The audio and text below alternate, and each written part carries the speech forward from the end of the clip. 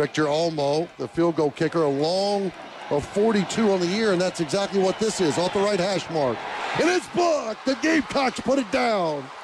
So Tiano hits a 35-yard pass on the first play, and the Gamecock defense says, hold on. And they shut down the field goal attempt from Oma from 42 yards out, and Carolina takes over.